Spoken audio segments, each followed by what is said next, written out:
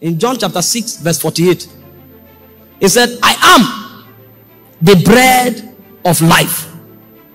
And in John 6 33, he added a little texture to it. He said, I am the bread that came down from heaven. So there were two things Jesus wanted us to know. The first is that the food of your spirit is not earthly. Because this bread that you need, it came down from heaven. While you feed on earthly material, you must also feed on heavenly material. If not, your earthly dimension will be robust, but your heavenly dimension will die. You know, man is a spectacular creature in the realm of God. Man is the only being God created that three different kinds of life are at work in him at the same time. Your body is sustained by a different life. He said the life of the flesh in Leviticus 17 11 is in the blood. So the fleshly dimension of you is sustained by a life that operates in your blood. Because your flesh came from the dust, you will depend on the resources from the dust to survive. If not, that life will die. And if anything wants to attack your fleshly life, it will attack your blood. That's why when you go to the hospital for diagnosis, they just take a sample of your blood. They say, go home. They can come back and tell you everything about your body because the life of your flesh is in your blood. The reason you, you don't eat for 24 hours and suddenly you become a calm and gentle man is because life is dissipated and you are not refilling. Now, some of you have not fed your spirit in one month. Imagine what your spirit is like. That's why when they say pray for five minutes, it looks as if you want to die. Because imagine somebody who has been bedridden for six months. You now say, Come, let's go for Olympics. You want to kill the person. There's no energy in the flesh. That's how some spirit, some of our spirits are. So when you come and we say, Let's pray for one hour, the first thing is that you are shocked. How can I pray non-stop for one hour? Is it possible to pray for one hour? Because there's no there's no energy in the spirit life. But if they say, let's watch a movie for 12 hours, come on. You can, there's so much capacity. The reason is because there are three kinds of life working in you right now as you are sitting here the fleshly life that is sustained by flesh, and then the soulish life that is sustained by breath. He said in Genesis 2 7 that when he formed the man from the ground, he breathed into the man the breath of life, and the man became a living soul. So the life of the soul is the breath. And that's why when breath is withdrawn from you, you check out. No matter how strong you are, when breath go, your soul departs. Because your soul will go to where breath came from. That's where that life is from. But in Genesis 2 9, there is a tree of life that he planted in the garden that was supposed to feed the spirit of the man. So every day, man is supposed to feed his body, his soul, and his spirit. You feed your body with the physical meals that you have. You feed your soul with facts and information so that it's strengthened. All of the gates you have, your eyes, your ears, they are to feed your soul as well. So don't say, I am spiritual, I'm spiritual, and you know nothing about nothing. You will not have relevance. Even the apostles that Jesus raised, Paul was better than them. Because the soul of Paul was more refined than their souls. Because when God needed matters of doctrine to be captured, they didn't have enough intelligence to articulate it. They knew Jesus as much as Paul, but Paul had a more refined soul. So why Peter wrote three letters, Paul wrote 14. John, who was carried to heaven, wrote five letters. Paul wrote 14 because the soul is refined. You need to feed your soul as well because the level. Some a, a girl met me yesterday and said she came from Osuka. Why did she come? She came to tell her family that she's leaving school. The Holy Ghost told her, the kind of Holy Ghost that we hear. The Holy Ghost told her that she should leave school now and go and seek the Lord. And she's going to a cave to seek the face of Him that dwells in the midst of fire. And I told her, if you do this, you will destroy your destiny.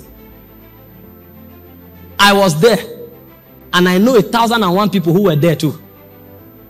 There will never be a time in your life when the Holy Ghost will tell you to abandon your secular aspect to seek your spirit. The biggest men of God today that are making the greatest impact in this country are all graduates. Most of the crises you find in church are from military pastors.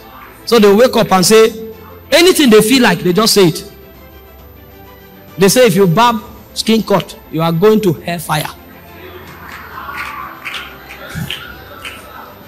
And after a while, you find them in Dubai.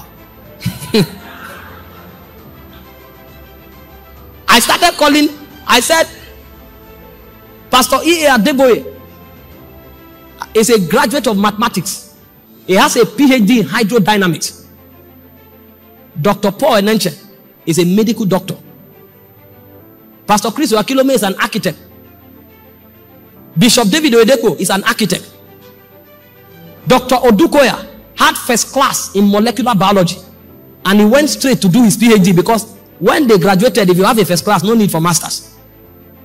That's the, the founder of Mountain of Fire. Who told you you can do much for God if your mind is not refined? You don't know there's a soulish life. You must feed the soulish life as well. But Jesus also went further to tell us to feed the spirit man. That's why in Matthew 4, verse 4, he say, Man shall not live by bread alone. That means man will live by bread, but not by bread alone, but by every word that proceeded from the mouth of God. Because the bread of life is what? Him that came down from heaven. And him that came down from heaven is the word of God. And so every time we want to grow in the dimension of Christ that is allocated to the word or the bread of life, we must make feeding the word of God our primary preoccupation. When you begin to do the business of the world, you discover that the business of the world is a daily business. In Matthew chapter 6, verse 11, Jesus was teaching them and he said, Give us this day our daily bread. That means if you eat bread daily, man shall not live by bread alone. If you eat bread daily, then you must also what?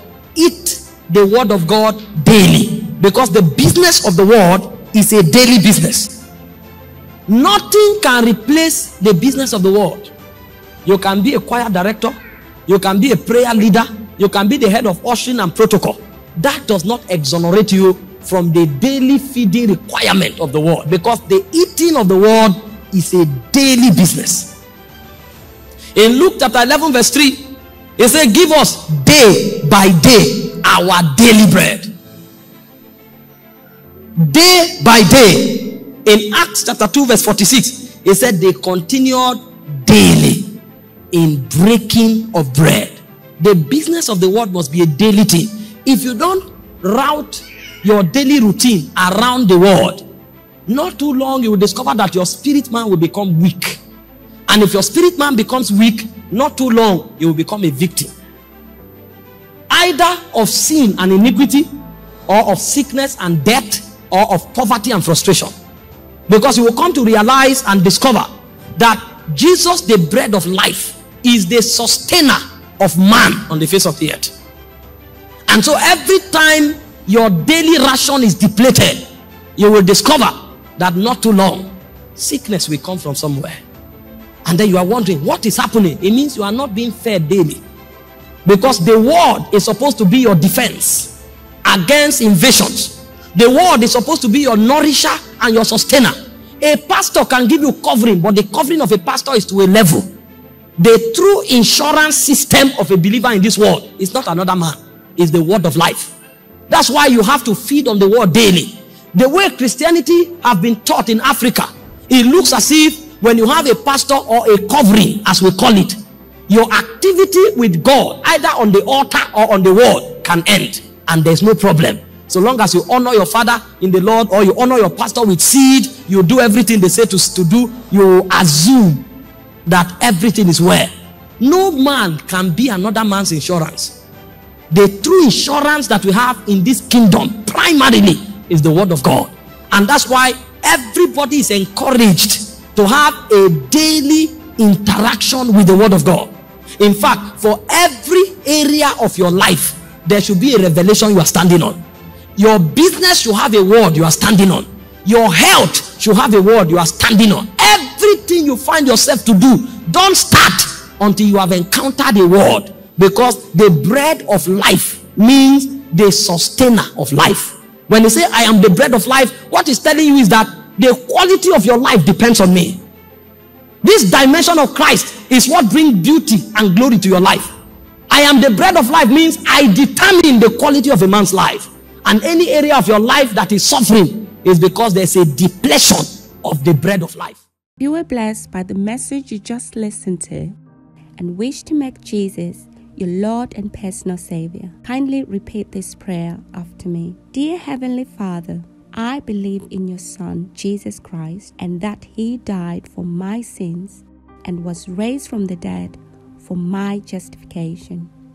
I therefore confess with my mouth that Jesus is the Lord of my life. I receive eternal life into my spirit. I am born again. Thank you, Father, in Jesus' name.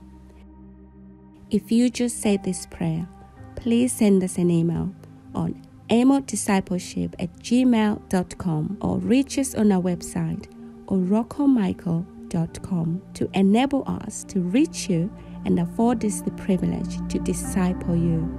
God bless you.